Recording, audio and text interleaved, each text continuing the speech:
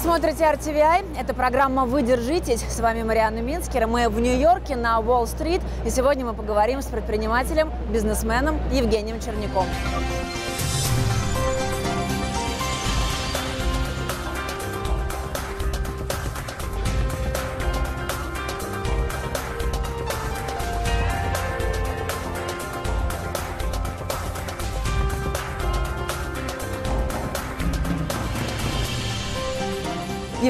Мы с вами находимся у Нью-Йоркской фондовой биржи. Самое место поговорить о глобальной экономике. Сейчас о грядущей мировой рецессии не говорит разве что только ленивый. Все индикаторы не самым лучшим образом показывают состояние мировой экономики. Организация экономического сотрудничества и развития ухудшила прогноз по мировой экономике. 30-летние а трежерис американские на минимальных значениях с 2011 года. По вашим ощущениям, действительно ли надвигается глобальный масштабный мировой экономический кризис? Чувствую, время пришло. Цикл э, для рецессии подходит. Думаю, что в данном случае деривативами, то есть самыми высокорисковыми инструментами, как было в предыдущем кризисе, выступят кассовые разрывы у финтех-компаний, потому что э, время смузи бизнесменов или смузи стартаперов привело к тому, что компании могут быть убыточными по 5-7 лет. А деньги для закрытия своих кассовых разрывах, они, соответственно, привлекают от инвесторов. Поэтому в этом смысле экономика, конечно, перегрета. И все финансовые банкиры, уже не аналитики, а финансовые банкиры, рассматривают сценарий инвестирования в следующем году э, очень осторожно. То есть все ждут и уверены, что кризис наступит, Вопрос только времени, когда это произойдет. Вот, это самый главный вопрос. Когда это произойдет? Ну, как, когда, по вашим ощущениям, когда это может произойти? Полагаю, что мы первые симптомы ощутим в конце следующего года. В конце 20-го? Да. В этом смысле пессимистам всегда быть легче, чем оптимистам, потому что пессимист очень часто или всегда оказывается прав. Вопрос только, э, когда реализуются его Конечно. прогнозы. В среднесрочной перспективе или в короткой перспективе. Так это самый главный вопрос. Когда? Симптом и давайте что зафиксируем, за симптомы? Давайте зафиксируем мой прогноз. Симптом, симптом, первые симптомы ощутимые будут в конце следующего года. Вы, кстати, обратите внимание, как ведет себя ФРС э, американский. Снижает ставку. Снижает ставку. То есть э, происходит это, происходит это только в двух случаях. Либо с экономикой все здорово и отлично, либо ожидают удара по экономике, соответственно, удешевляют кредитные ресурсы. Слушайте, ну пока с экономикой запустить. все неплохо, с американской экономикой, но тем не менее, видимо, какие-то сигналы есть. Контроверсивные сообщения о американской экономике. Мы смотрим на недвижимость, э, один прогноз, мы смотрим на индекс потребления, другой прогноз, мы смотрим на очень важный индекс потребительских настроений, что люди планируют покупать в ближайшее время. Третий прогноз, то есть сейчас однозначно консолидированного отчета, который бы указывал на то, что кризис начнется завтра, нет. Но есть э, легкий э, шорох по этому поводу. Но вот то, что ФРС ставки снижает, вы считаете, что это как раз сигнал к тому, что готовятся к мировой рецессии, что его ждут Предполагаю, что это такая шахматная игра, и результат этого снижения мы увидим приблизительно через три хода. Про сигналы. Что послужит сигналом? Первые звоночки. На, что, думаю, на что обращать внимание в первую очередь? Я думаю, что э, индекс потребительских настроений очень серьезно понизится. Я думаю, что цена на недвижимость притормозится очень серьезно и в некоторых местах начнет падать. Я думаю, что процент невозвращенных кредитов э, резко увеличится, это очевидно. В общем-то, все, что происходило в предыдущий кризис, повторится сейчас только в более таких гипертрофированных объемах. И еще раз повторюсь, если в прошлый раз основной риск экономики был деривативы, то есть это многократно перезаложенные долги э, банковских клиентов, то в этот раз это э, будут кассовые разрывы у огромных стартапов, которые стоят э, много миллиардов долларов. Посмотрите, например, Uber. Классная модель, все отлично, все хорошо, но компания генерит многомиллиардные убытки, но тем не менее стоит достаточно серьезных денег в открытом доступе. То есть каждый может купить ее акции. И мне кажется, что нельзя быть прибыльным только в Калифорнии, как Uber, а в остальных местах, где бы они не работали, не убыточны, но тем не менее стоить огромные миллиарды долларов. То есть ожидания инвесторов, которые не заканчиваются операционной прибыли, рано или поздно приходят, приводят к кризису. А как вы считаете, вот эти сигналы, о которых вы говорите, это произойдет резко достаточно или это все будет постепенно нарастать? Вопрос, Допустим, снижение цен на недвижимость. Все резко рухнет. Вопрос, когда максимально остро почувствуются это, эти симптомы. То есть будет пролонгировать э, э местные э, лица, принимающие решения, влияние кризиса? или отпустят ситуацию.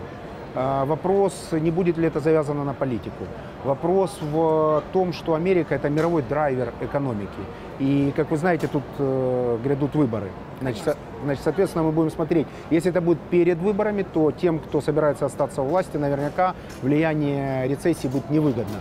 Будут максимально, наверное, переносить. Если пройдут выборы, то наверняка останавливать не будут, и ситуация будет развиваться абсолютно рыночными э, способами и методами. Поэтому э, ну, я как бизнесмен же э, могу как бы давать некие советы, э, исходя из того, как бы действовал я сам. У меня очень спокойные прогнозы в этом плане э, на кредитование, на инвестиции и на то, что бизнес-процессы в моем бизнесе должны быть оптимизированы максимально. Я хочу встретить кризис максимальной боевой готовностью. То, кто придет к власти в Америке, это же тоже очень важно, это тоже окажет большое влияние на фондовый рынок. Вот здесь какие у вас прогнозы? Дело бизнеса заниматься маржой, прибылью и стратегиями.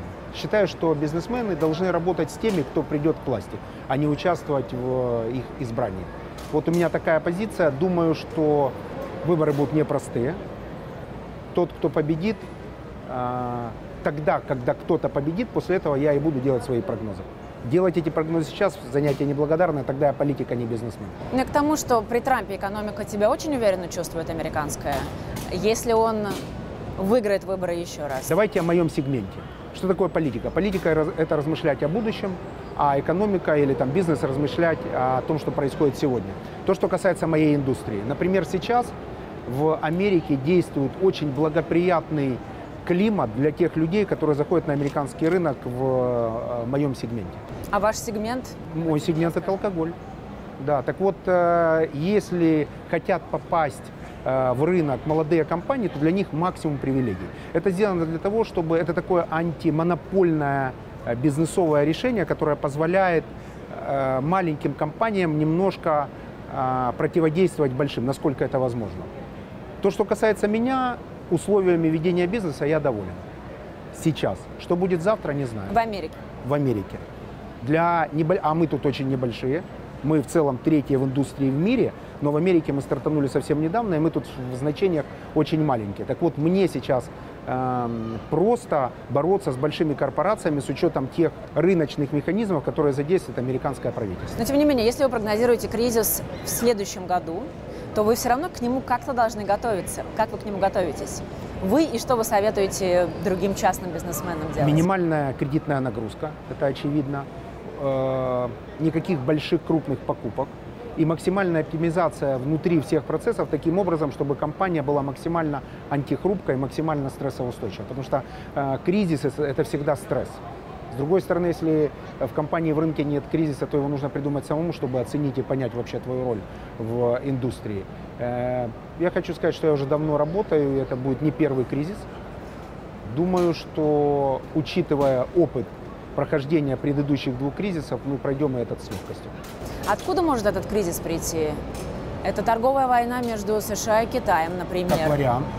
То есть как она- вариант. это может спровоцировать, стать катализатором. Как вариант. Ну, это же точно не стабилизирующий фактор. Смотрите, как, какая чувствительная сейчас мировая экономика. Одно заявление в Твиттере может обрушить американскую биржу там, на 3-4%, индекс Dow Jones. Ну, мы про Трампа, конечно. Это же чувствительная экономика, Очень. это значит она хрупкая. А значит, предполагать, откуда придет кризис, мы сейчас не можем. Процесс этот может быть детерминирован совершенно не рыночными или не экономическими Черные решениями. лебеди. Как вариант. Насим Талеб в этом плане гениальный футуролог. Нужно сейчас очень внимательно слушать о том, что он будет говорить и писать. Он очень, его прогнозы с высокой долей вероятности сбываются. Это да, но все-таки нужно же на что-то обращать внимание, на какие-то симптомы, вот как вы говорите, какие-то сигналы. За каким сегментом лучше всего наблюдать сейчас, пристальнее всего? Я рекомендую Нужно. наблюдать внутри своей индустрии, там, где ты эксперт, очень внимательно за тем, как ведут себя крупные игроки. То есть это простая, э, понятная рекомендация. Если их э, заказы, если фьючерсы уменьшатся, то это очевидно, что они к чему-то готовятся. На них же работают лучшие аналитики. Посмотрите, вот эти все здания забиты аналитиками. Это люди, которые не продают ничего, кроме прогнозов. Это люди, которые не, не перепродают ничего, кроме денег. Вот эти все небоскребы, они состоят из этих людей. И, конечно же, они работают на большие корпорации. Э, либо ты сам являешься гениальным прогнозистом или футурологом, либо ты внимательно смотришь за лидером индустрии и понимаешь, почему он сделал то или иное движение. Откуда начнется рецессия, как думаете? США, Европа, Китай? Я уверен, что из э, Америки. Другие страны в меньшей степени способны повлиять на состояние мировой экономики. Я уверен, что проблемы в других странах не будут такими чувствительными для мировой экономики, как проблемы американские, а возможно даже внутриамериканские, я имею в виду экономические проблемы. Что касается российской экономики, как вы считаете, насколько она будет чувствительна к мировой рецессии? Понятно ведь, что российская экономика стала более автономной после 2014 года. Вот насколько легче Россия пройдет этот кризис по сравнению с кризисами 8 98 года? Российская экономика получила прививку. То есть в легкой форме она получила инъекцию кризиса в 2014 году и научилась с этим жить и работать. Если мы посмотрим на там, стабфонд, на золотовалютные остатки, на то, как открываются там, например, новые производства э, импортозамещающие, то я предполагаю, что скорее всего, так уж получилось, санкции выступили как раз э, неким подготовительным этапом для того, чтобы максимально комфортном состоянии встретить кризис. Так сложилось. Хорошо, это плохо, можно оценивать позже, но это так. Поэтому думаю, что российская экономика с учетом э, санкций, которые были против нее введены, и с которыми она научилась бороться эффективно и работать в этих условиях, э, для нее кризис пройдет мягче всего. Как украинская экономика отреагирует на мировую рецессию? В украинской экономике смена команды тотальная после президентских выборов, в том числе коррекция очень серьезного экономического курса. Сегодня новое правительство вышло с, со своей программой, презентовало новую программу. Я внимательно ее изучил.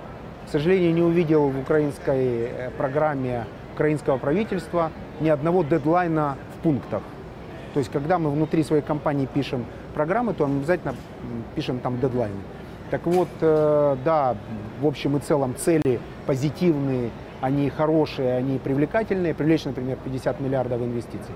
Это хорошая цель но дедлайнов я там не увидел. Поэтому украинская экономика, к сожалению, в последнее время ее можно только с трудом назвать стабильной.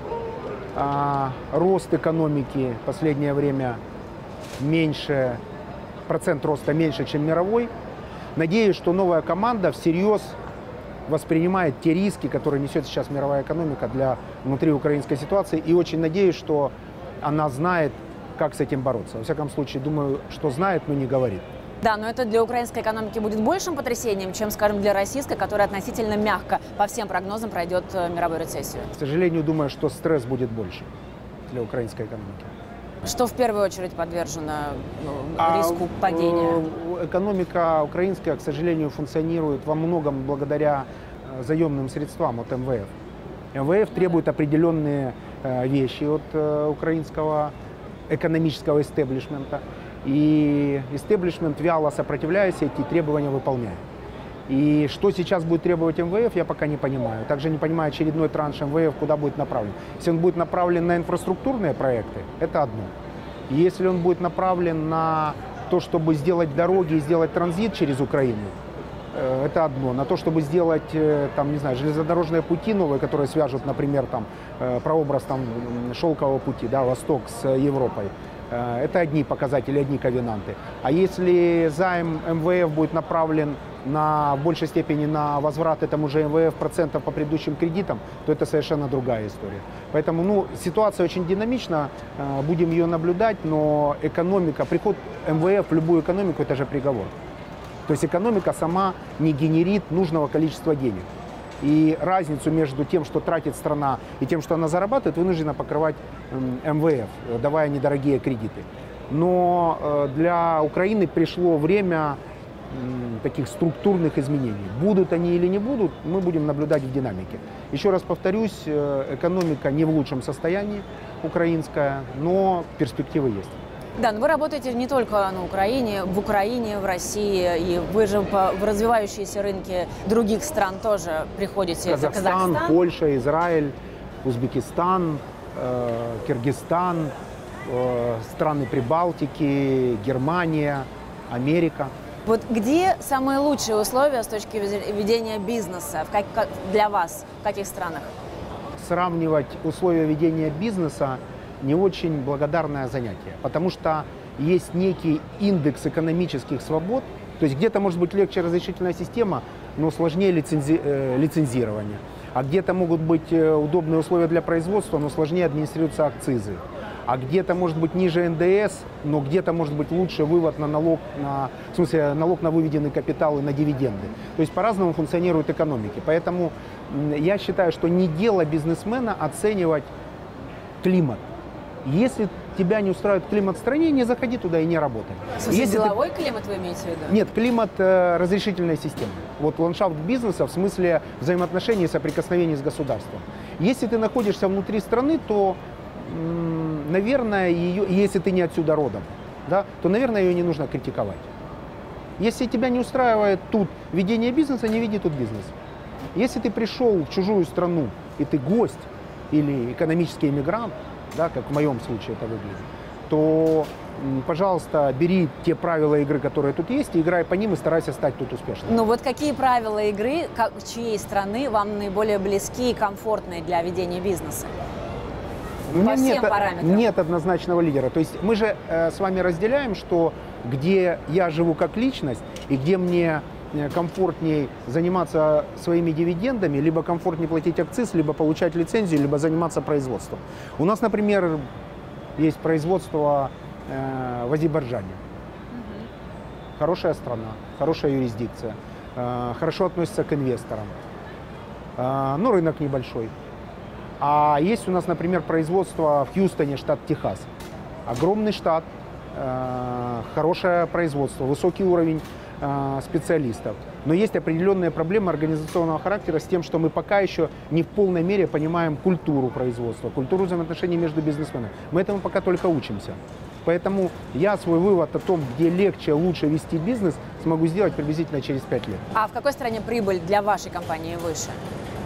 Я только могу сказать, что э, с учетом того, что мы исторически с Украины, по состоянию на сейчас, с учетом нестабильности, которая там из года в год повторяется, э, мы 85% прибыли и оборота сосредоточили за пределами Украины.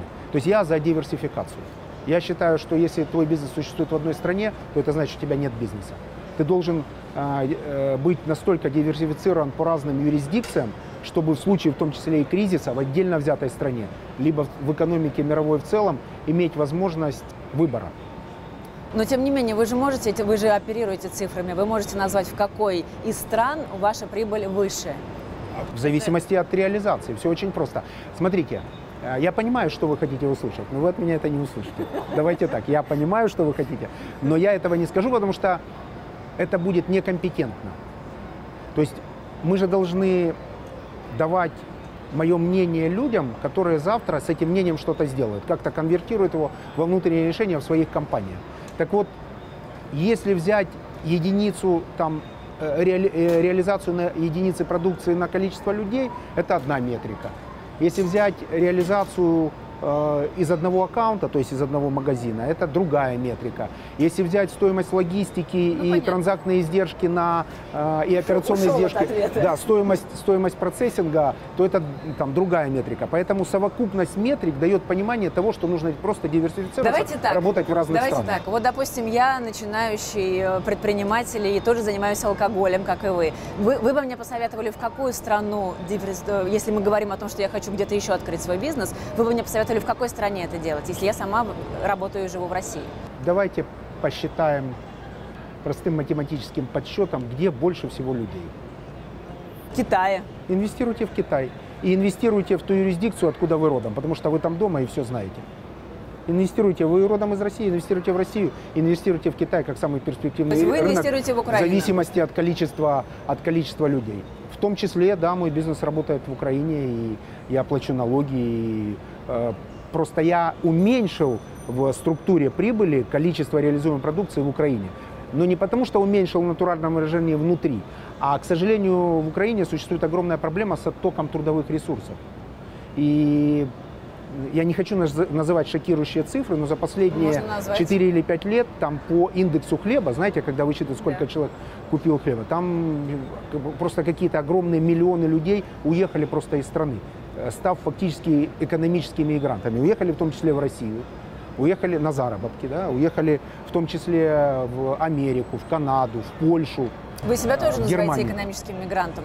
Я экономический иммигрант. Когда э, в Украине началась вот эта проблема, я понял, что в стратегии, ну, в общем-то, это был и э, такой с- э, совет, от которого нельзя отказаться, э, членов совета директоров. У нас хоть и частная компания, но, но у нас есть совет директоров.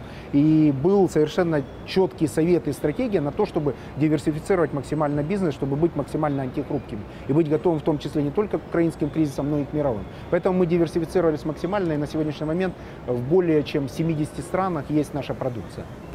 С приходом Зеленского наверняка что-то изменится, даже с точки зрения ведения бизнеса в Украине. Вот не было у вас планов, может быть, вернуться в страну? Я далек от политики максимально, но оставляю за собой право, как человек, платящий налоги в Украине, критиковать экономические решения, если они будут сделаны не в интересах бизнеса. Например, то, что произошло сейчас, я вот в Фейсбуке за час до нашей встречи прилетел из э, Чикаго и э, читал внимательно программу правительства. Э, Там происходит, к сожалению, сейчас фискализация малого бизнеса. То есть малый бизнес обязали, либо собираются это сделать в ближайшее время, все транзакции финансовые проводить через кассовые аппараты. Конечно, малый бизнес недоволен, потому что на фоне того, что уезжают люди, э, не очень быстро, как хотелось бы, растет средний чек, еще и фискализируется работа максимально. А Знакомая ситуация? а, например, на этом фоне существует государственный концерт, э, концерн «Укрспирт», который максимально коррумпирован и который, э, являясь государственной монополией, тем не менее не решает главную задачу, для которой создаются государственные монополии, это поставки контрафактного спирта. То есть в Украине не проблема купить контрафактный спирт производства «Укрспирта». Но тем не менее фискализируют законодательство для малого бизнеса. Я в Фейсбуке написал пост и сказал, что фискализация, по идее, даст там сколько-то миллиардов.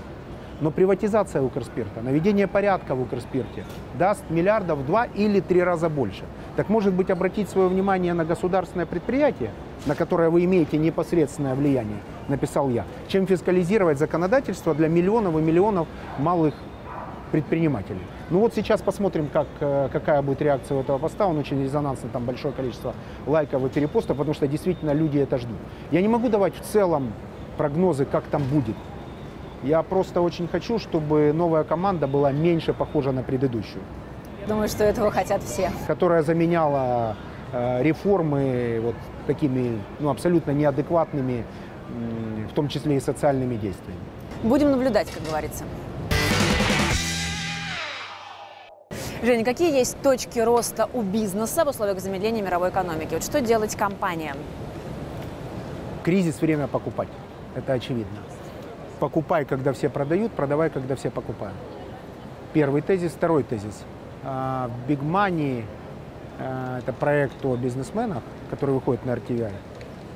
Василий Хмельницкий, украинский бизнесмен, сказал, как мне кажется, гениальную фразу. Все думают, что сейчас будет кризис, но на самом деле это давно уже не кризис, просто так мы теперь будем жить всегда Новая реальность. новая реальность. Фактически новая реальность – это высокострессовая экономика, э, с, э, очень турбулентная, в которой большое очень количество рисков, в которой любой предприниматель должен научиться существовать. То есть первое правило – нет никаких правил. Кризис может произойти в любую секунду, точно так же, как и рецессия может произойти в любую секунду, точно так же, как обрушение акций, кросс-курсы И могут достаточно как-то не резко так и болезненно. и болезненно. Как это бывает Поэтому обычно. нужно быть просто всегда в тонусе, нужно быть ежесекундно готовым. Что для меня э, готовность Да. компании к кризису? Я считаю, что внутри все должно быть прописано и просчитано таким образом, чтобы с запасом проходить любое падение продаж приблизительно на 50%. Готовность и антихрупкость моей компании том, что я должен быть максимально готов, если продажи упадут больше, чем на 50%.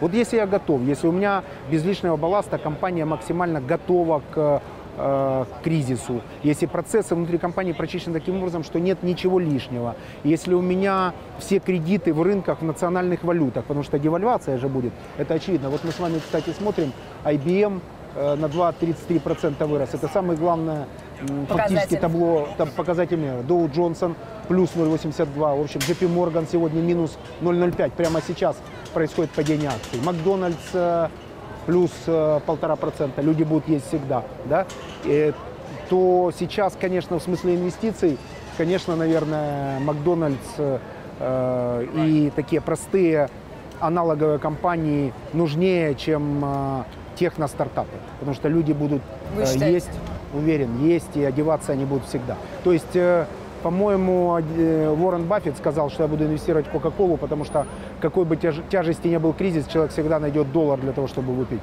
э, сладкий вкусный напиток. Ну как же высокотехнологичный сектор Высокотехнологичный сектор, скорее всего, просядет в первую очередь. во время кризиса? Уверен в этом. А что еще просядет?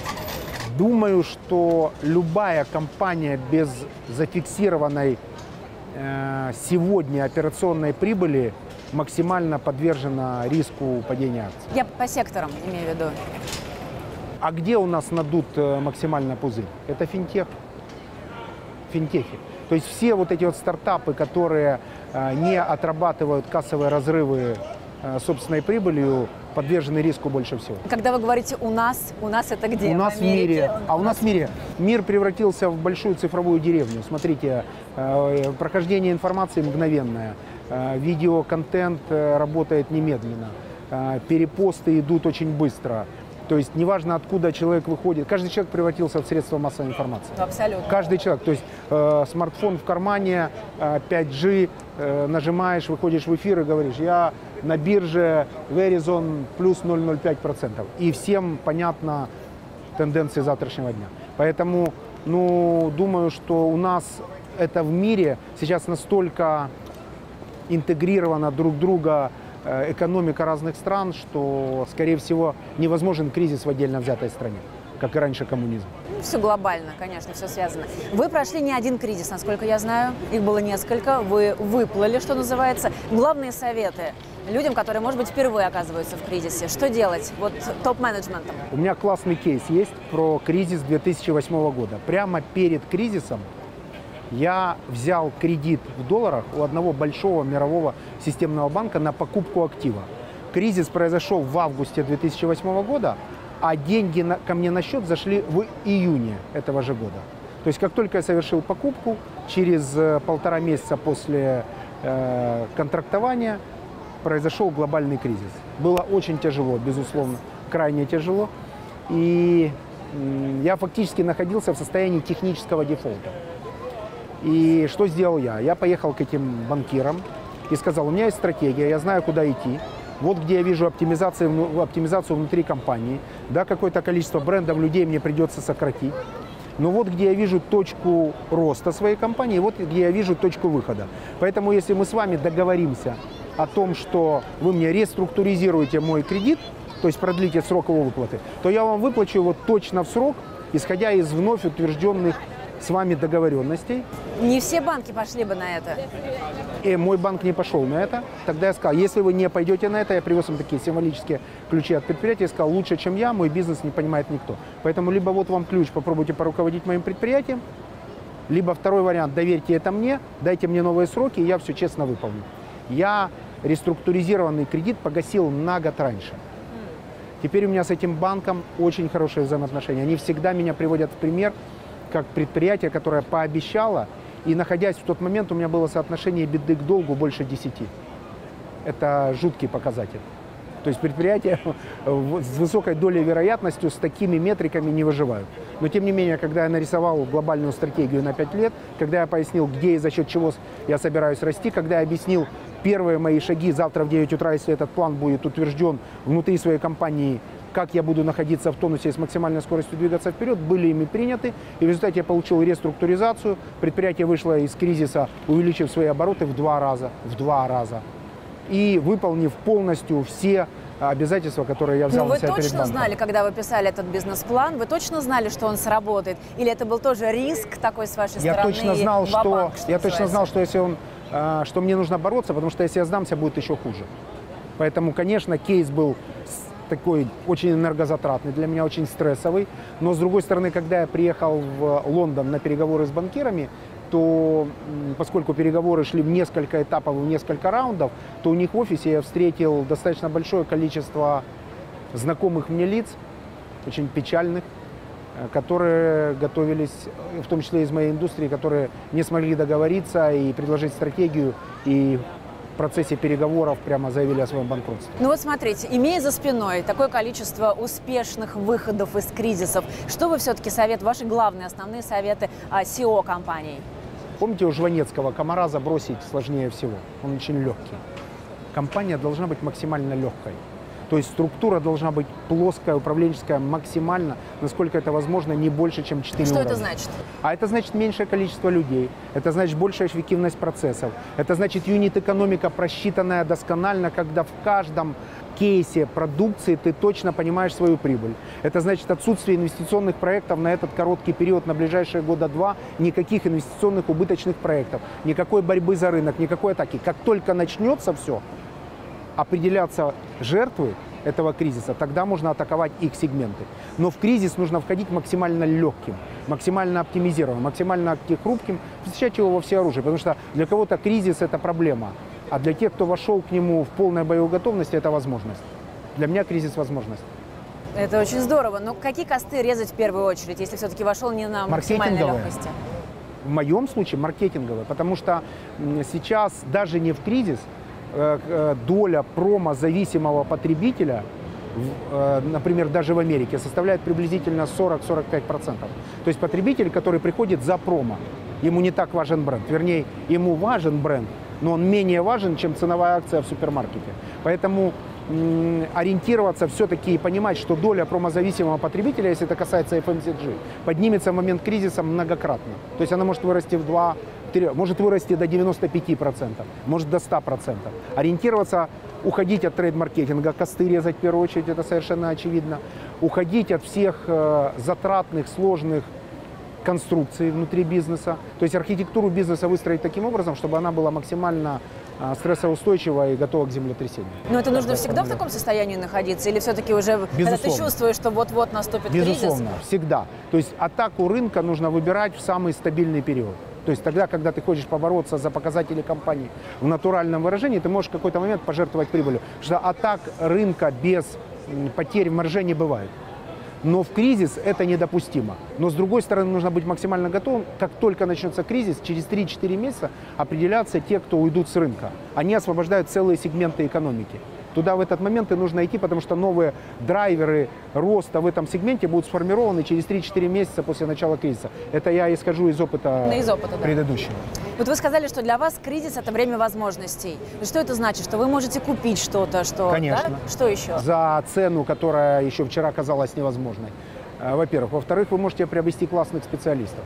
То есть компании, когда э, начинают э, банкротиться, а мы такое наблюдали в 2008 году, гениальные суперспециалисты, которые вчера стоили одних денег, сегодня стоят в два, в три раза дешевле. В это время формировать в том числе и новую команду. Это время в том числе покупать своих конкурентов. Это время в том числе очень выгодного, льготного, я бы даже сказал, кредитования, потому что в этот момент хорошего заемщика банкам найти крайне сложно. Значит, соответственно, тебе нужно быть настолько репутационно, экономически, финансово э, безупречным, чтобы банк сам искал тебя и пытался выдать тебе э, длинный кредит. Это время, не знаю, синдицированных кредитов, например, между разными банками и компаниями для покупки новых э, игроков рынка, которые э, не были готовы к кризису. Кризис – это время возможностей. Ну, еще один из важных символов Уолл-стрит – бык. И, конечно, надо поговорить о валютных курсах. Что будет с рублем, с долларом, с евро в случае наступления глобальной мировой рецессии? И насколько могут эти валюты обесцениться? Все взаимосвязано, мы это уже обсудили. Кросс-курсы примерно, как бы не падали основные валюты, примерно, как мне кажется, будут соблюдены. Пропорция будет та же. Думаю, что обесценивание локальных валют будет зависеть от готовности экономики к кризису. Но, думаю, колебания в 1, 2, 3% будут э, не так заметны. Думаю, что соотношение примерно сохранится. Во что вложить? Думаю, Какую что... валюту покупать? Думаю, что могу повторить только рекомендации моего э, инвестбанкира. Это максимально, насколько это возможно, диверсифицировать между ресурсными вложениями и валютными вложениями. Золото неплохая гавань, в том числе в портфеле. Ну, драгметаллы имею в виду. а, валюты разные в том числе, а юани Ну давайте про вас. Вот в вашем личном портфеле, как э, между валютами вы его диверсифицируете? 10% а, доллар, 10% Всего евро. 10? Да, 10% евро. Остальное? Все остальное, как я считаю, должно максимально работать. То есть максимально сейчас я кредитую собственные бизнесы собственными средствами. То есть замещаю кредитные ресурсы собственными э, инвесторскими вливаниями, инъекциями. Насколько они э, краткосрочны будут, пока не знаю. Но действую я именно таким образом, чтобы практически до нуля снизить долговую нагрузку в собственных предприятиях. Хочу войти в кризис максимально свободным от кредитных обязательств сторонних. Э, Считаю также, что неплохая инвестиция – это золото. Если взять э, длинную историю пятилетнего инвестирования, то в целом это достаточно э, позитивный тренд. Ну и, конечно, акции аналоговых, как я их называю, голубых фишек. Это Coca-Cola, Макдональдс и так Мы далее. говорим про американский фондовый рынок, да? В том числе, да. В том числе. Если мы говорим о рынке бывшего СНГ, так называемом, то я бы частично, конечно, заходил бы в ресурсные компании, э, надеюсь, что они упадут меньше всего, но это не точно. Ресурсные компании, вы имеете в виду все, что связано с сырьем? Сырьем. Какие-то конкретные рекомендации могли бы дать? Вот что, что покупать? Какие Дело конкретно? неблагодарное. Я Если понимаю, но бы не помните менее. э, гениальную фразу известного биржевого аналитика: "Люблю консультировать людей, особенно если это глупые богатые люди". А, Я не хочу. Бывают глупые, богатые. Да, да, ну, очень часто, по мнению биржевых аналитиков. Ну, то есть богатые они сейчас, а глупые станут после того, как инвестируют куда-то, куда им посоветуют, а прибыли они не увидят. Поэтому я, вот каждый, это дело очень индивидуальное. Я бы получал информацию из разных источников, анализировал ее и принимал бы самостоятельное решение, потому что нужно еще внимательно смотреть, ангажирован ли человек, дающий совет. Ну, это понятно. Вот вы сказали, что 10% евро, 10% долларов у вас находится, а валюты развивающихся стран, ну, в каком соотношении? Не, не Рубль, рискую, гривна. не рискую заходить э, в эти валюты больше, чем на 5%. То есть, конечно, там должно быть, и там ведутся бизнесы, но это и есть, собственно, моя диверсификация и моя инвестиция. Вот максимально точно уверен, что нужно снизить кредитную нагрузку. Для золота, для того, чтобы покупать золото в портфель частному инвестору, сейчас удачное время? Если только оно было до этого. Это очевидно. То есть если инвестиция, я вообще не рассматриваю краткосрочные инвестиции. То есть делать сейчас не какие-нибудь э, судорожные движения перед началом кризиса вообще никому не рекомендую. И это, да, это и бессмысленно. То есть нужно просто продолжать ту стратегию, в моем случае, которая мной была избрана там, 2-3 года назад. Я ее просто продолжу. А моя стратегия максимально облегченная структура внутренней компании, минимальная зависимость от кредитных ресурсов, все кредиты, которые останутся только в национальных валютах, соотношение экспортных операций к импортным должно, быть, должно соответствовать кредитованию в местных валютах. То есть, если ты продаешь за гривну, то ты, соответственно, должен иметь кредит в гривне ровно под э, эту структуру продаж. Я не буду делать сейчас никаких э, радикальных изменений в той стратегии, которую я избрал 2-3 года назад. Хорошо, что касается нефти, тоже такая важная тема. Вот нефть сейчас уже растеряла все, что э, приобрела после атаки на саудовские нефтяные объекты. Что дальше? Вы что хотите у меня спросить? Будут ли еще атаки? Я не знаю. Нет, будет ли еще рост цен на нефть, Это или будет зависит- только падение? И Это что? зависит от огромного просто количества факторов. Как показала последняя история, рынок нефти невероятно чувствителен к любым внешним воздействиям. Вот то, что показала эта атака. Как будет дальше развиваться ситуация, Ну, я это не было знаю. серьезное воздействие. Но, но то, что есть игроки, заинтересованные в росте цен на нефть, это совершенно очевидно. А то, что рынок нефти не защищен от внешних воздействий, тоже очевидно. Поэтому ну, я бы назвал сделки, э, любые сделки с нефтью спекулятивными. Ну, поскольку вы советуете все-таки приобретать нефтяные акции нефтяных компаний, В том то числе частично диверсифицироваться внутри портфеля. Да, в долгосрочной перспективе наверняка нефть подорожает, это очевидно. а долгосрочно это сколько? Но мы считаем, любая долгосрочная от двух лет. Что делать частному инвестору? Если представим, что рецессия наступит, ну вот уже в ближайшее время, во что вложить, если у, у тебя есть 10-20 тысяч долларов? Э, Можно ли сберечь свои активы? Цифра немножко оскорбительная Да, меня, я- но окей, понимаю, ну, окей прокомментирую. вас вас друг если, если есть 10 тысяч долларов, лучше их превратить в наличные и сложить э, в надежном месте. Ну, в долларах, в евро или, как вы сказали, 50 половину? на 50, например. Можно сделать 30% доллара, 30% евро, 30% э, золота, а остальное пустить в бизнес. Это очень индивидуальная вещь. Я не беру на себя смелость давать прогнозы, чтобы человек, который их послушает и воспримет буквально, не стал беднее. Я могу в этом смысле говорить, как сделал я, и об этом откровенно э, рассказал.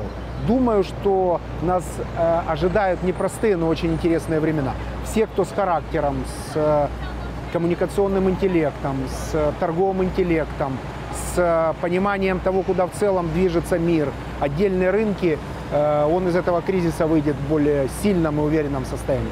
Но когда ты смотришь на море, оно спокойное. Но смотреть же на него неинтересно, когда штиль. Правильно? Но все всегда привыкли радоваться шторму, ветру. Вот сейчас наступают такие времена в рынке. Ну и хорошо. Ну и в заключение давайте поговорим про ваш проект Big Money. Это YouTube-канал, и для вас это такой первый опыт. До этого у вас не было YouTube-канала. У меня вообще не было видеоконтента. Да. До этого. А, получаете ли вы прибыль от этого проекта? Вы, потому что у вас там миллионы подписчиков, ну, у вас, по крайней мере, миллионы просмотров. Он пока что не капитализирован. А, он родился достаточно спонтанно, что не характерно для бизнесмена. Э, я посмотрел контент, который есть в YouTube, и понял, что о бизнесе нет практически ничего. То есть методологических рекомендаций, как вести бизнес от операционных бизнесменов, которые ведут бизнес прямо сейчас, оформленных в удобную подачу, практически нет. Поэтому я подумал, что это будет интересно, но уж точно не ожидал такого количества подписчиков и просмотров. То есть для вас это не было изначально и сейчас не является бизнес-проектом? Это больше хобби? Ну, с учетом а, дохода в моем основном бизнесе, это ну. никогда, наверное, не станет основным бизнес-проектом. Но это такой фэн, не знаю, назовите это, не знаю, рефератной работой. Это, ну, вот, факультатив такой мой, когда я с бизнесменами высокого уровня, которые прямо сейчас э, значит, занимаются операционным бизнесом, разговариваю на э, темы того, какие стратегии избрать, какие кредиты брать, какие инвестиции делать, э, насколько эффективны инвестиции в образование собственных детей, как заработан первый миллион и так далее. Все это сложилось в некий проект, который, честно говоря, просмотрами убедил, удивил даже меня, потому что я предполагал, что это может быть будет 10 тысяч просмотров. Это фактически два крупных бизнесмена беседуют, а зритель приоткрыл дверь и внимательно их слушает. Мы никогда не гримируемся перед этим. У нас нет сценария, у нас нет никакой цензуры, у нас нет практически монтажа, то есть мы снимаем все одним кирпичом. И если бизнесмен оговорился, то это так и останется в истории, значит он такой. И если он сказал какую-то гениальную вещь, то значит значит, он ее сказал, и это круто, здорово. Если у него за это время появились единомышленники, отлично. Если его хейтят, то мы об этом честно скажем, там, и будем наблюдать это в комментариях, потому что YouTube – это максимально открытая площадка для того, чтобы высказывать свое мнение. Если передача зашла, у нее будет миллион перепостов. Вся лента бывает Фейсбука в какой-нибудь цитате из Бигмани какого-нибудь э, там э, крупного бизнесмена. Не знаю, вот с Чичваркиным была, например, резонансный очень в Лондоне э, разговор. С Ириной Хакамадой, несмотря на то, что кто-то думал, что она не очень бизнесовый человек, оказалось, что она в частном порядке консультирует ведущие компании значит, с огромными многомиллиардными оборотами. Она говорила такое количество мудрости за единицу времени передачи, что она там к миллиону уже приближается количество просмотров.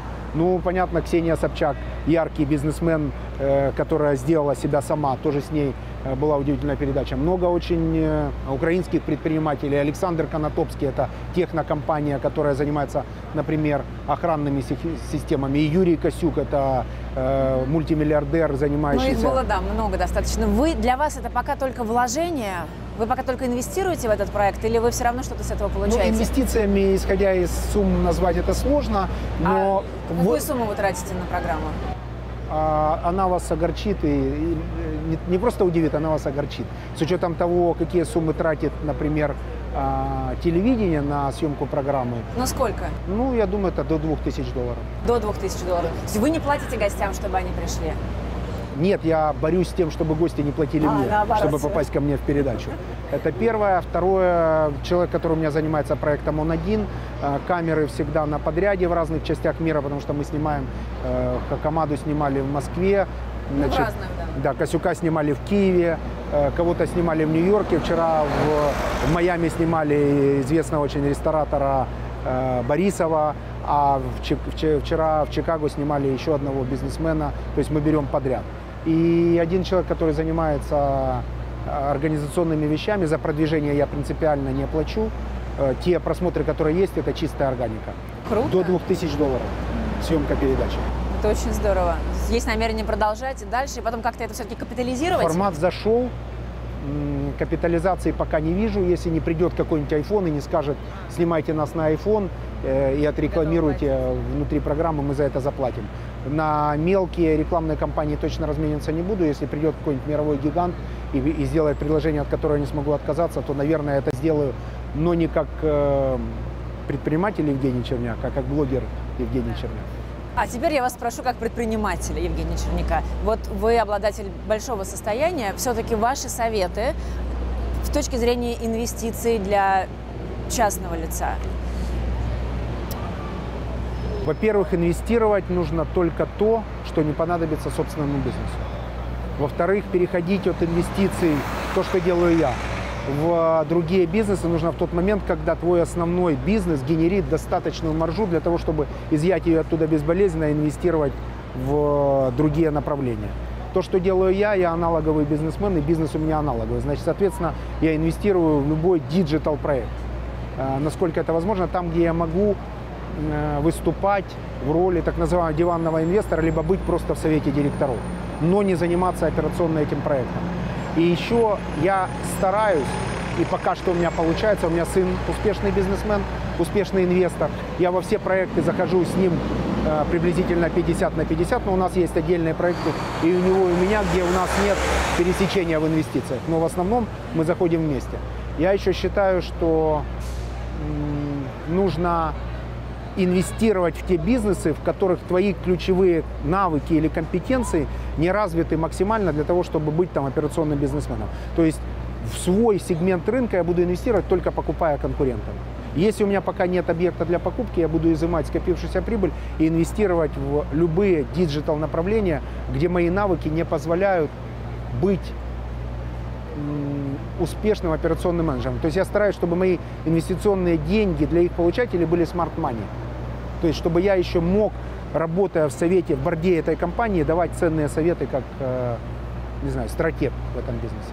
Ну и коротко, ваш, э, ваш прогноз на 2020 год, что будет с мировой экономикой? Еще раз такие выводы. Ждем кризис. Надеемся, что он не наступит. Внимательно относимся к симптомам. Каждый шорох внимательно слушаем, потому что люди, которые напуганы кризисом, каждый шорох мировой экономики воспринимают как начало кризиса. Поэтому мы должны быть внимательны, но не забываем о операционной прибыли. Считаю, что любой бизнес, а и в момент ожидания кризиса вдвойне, должен быть а, операционно успешным, чем я, собственно говоря, каждый день и занимаюсь. Вам удачи. Спасибо. Спасибо большое.